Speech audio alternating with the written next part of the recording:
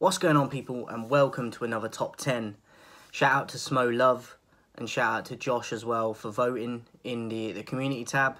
Um, if you two are going to be the only two that are going to be voting going forward, it's literally going to be a case of first come, first serve. So whoever gets their vote in first is going to be the winner, obviously, because you both pick different ones. Unless you both pick the same one in the future, it's going to be whoever gets their comment in first will be the, the the subject of the video I'm doing.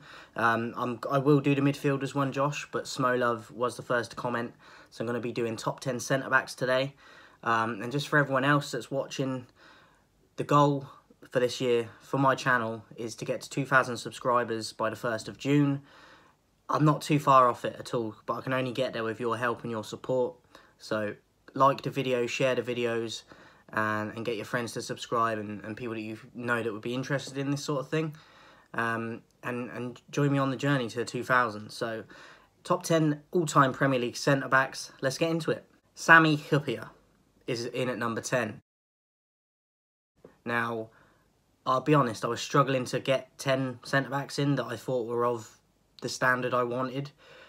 But he's one of the few that I do remember growing up. A leader, more of a just it wasn't a, an elegant defender. He was more of a defend defender like he wouldn't really attack. The only time he would get a goal would be the on the odd occasion from a corner with a header. Um, but i thought he did his job well. Um, and probably should have won a bit more with liverpool while in his time that he was there. So Sammy hyypiä will be in at number 10 in at number 9 ledley king. A guy that was riddled with injury that ruined his career um, the few times he did play, I thought he was quality. Um, and it's a shame that he had so many injuries because if he didn't have all them injuries, he would have. I think he'd have been a starting centre back for England more regularly um, and possibly go to a bigger club than Tottenham. So it's a shame, and it got to the point where he couldn't train um, with the players in his team, and he would just turn up for for the games but still put in performances that were like man of the match with like bad knees and and God knows what knocks he had and so Ledley King has to make this list and I don't think he gets spoken about enough. So Ledley King is in and he's in at number nine. Number eight, Jaap Stam. Just looked horrible in terms of intimidation. More like your Hyypiä, more of a, a defender defender. Not not elegant on the ball, although he could pass the ball. He was okay at that coming from the Ajax and like he could do that side of it, but he was aggressive, he was dirty, he was horrible, and he was a vital part of that United team when he was there as well. So Jaap Stam is in at number eight. Number seven, we got Carvalho for Chelsea. I think we a lot of us remember him more for his like his hair and whatever, but he was a quality baller. Um, vital in that partnership with Terry in that, under that first stint under Mourinho, winning the first Premier League title with Mourinho and he was a vital part in that team for Mourinho. He could go into like a holding midfield role as well. And another one that doesn't really get spoken about enough for me. So Ricardo Carvalho has to be in, and he is in at number seven for me. But one that I loved watching wasn't blessed with pace, but he was technical, just just brilliant with the ball, um, and very clever at reading the game as well. So Ricardo Carvalho number seven, number six Vincent Kompany obviously all them years at Man City, he was there before it kind of started changing them um, significantly for them in terms of challenging for titles and that.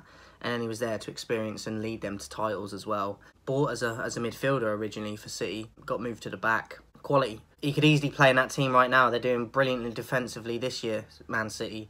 Um, and and he was doing that before. Do you know what I mean? So, Kompany has to be in, and that goal he scored in I think it was against Leicester. Remember it like went right in the top corner, like no keeper is getting it from a centre back, and Aguero's going, no, don't shoot.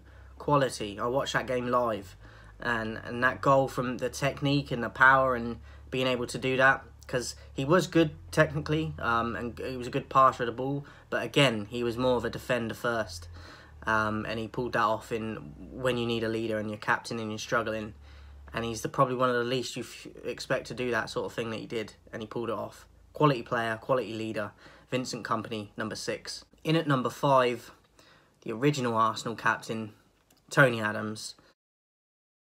Look, he was a tiny bit before my time, but I do remember catching the end of his career and that goal that I think it was Bould that set him up, and he was one of his last games. It might have even been his last game for Arsenal. Won the league.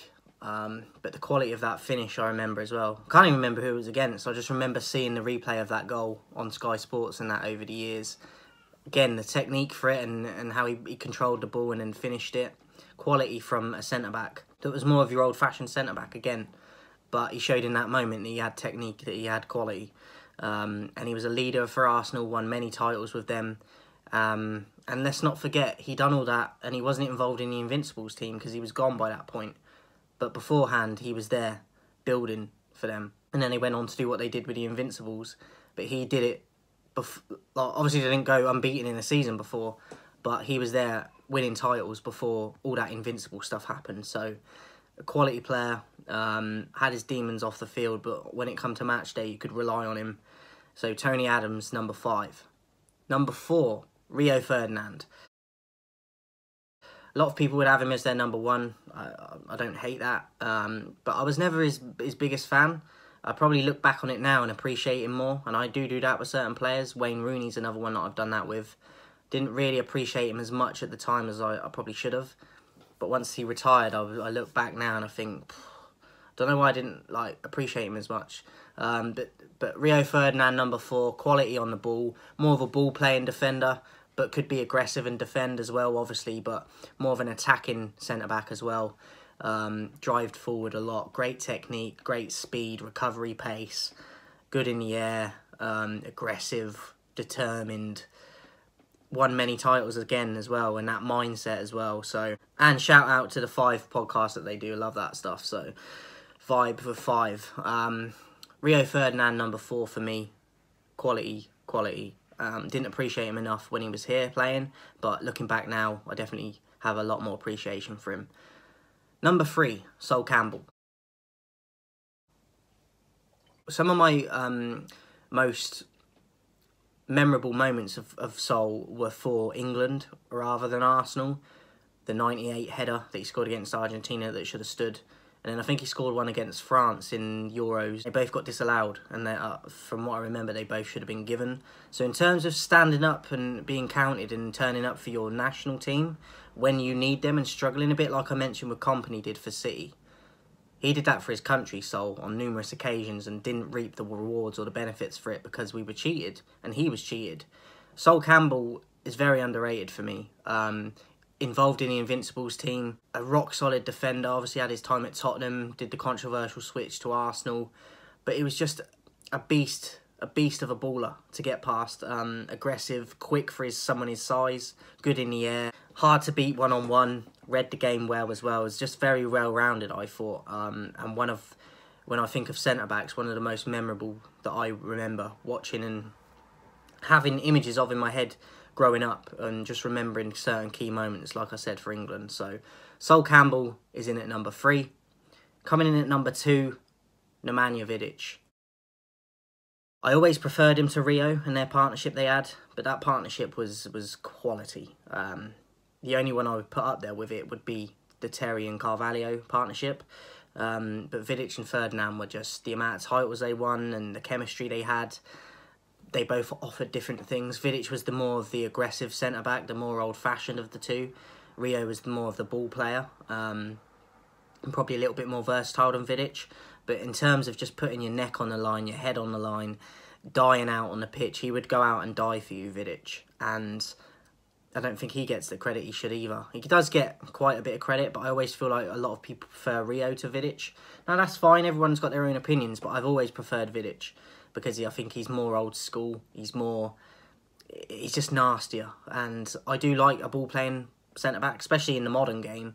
But during the times growing up in the noughties, um, in the late nineties, he would have fit in in the late nineties. And he's just, he was very aggressive, as I said, strong, not the quickest, but not the the slowest either. Good reader of the game. Maybe he could have been a bit better on the ball, but to be honest, I want my defender to defend first, and he did that. So Vidic, quality player, won numerous titles and things with, with United, and one that I was sad to see go. A great leader. Nemanja Vidic, number two. Drum roll, please. John Terry, number one.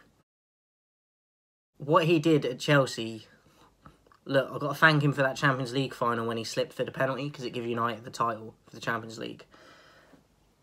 For Chelsea, though, that first time when, when Mourinho went in, it was him, Carvalho, Terry, Lampard. Them three specifically in the team, Terry, Lampard, and Carvalho, I thought were is literally the spine of the team. And it, without them three, I don't think they would have gone on to do what they did with Mourinho.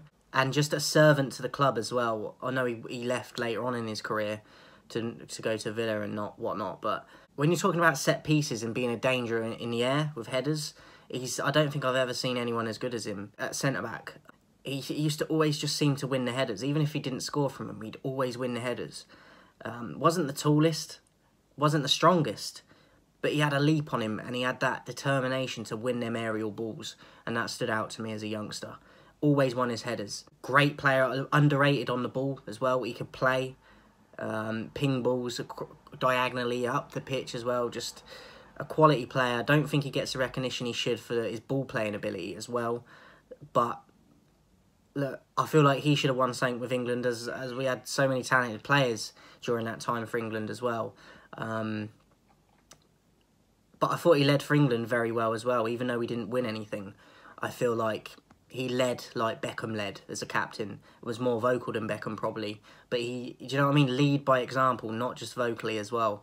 So John Terry, I think, is the best centre back I've ever seen in the Premier League. Coming up through the youth ranks at Chelsea as well, like learned his trade, learnt from the likes of Desailly, Leboeuf, and then he went on to do what he did with with that partnership that he had with Carvalho, as I said. Um, and if it weren't for Terry in that Chelsea team, they wouldn't have done what they did let alone Lampard and and uh, Carvalho. But Terry, I don't think people understand what he did for that club and the legend that he is at Chelsea, and rightly so.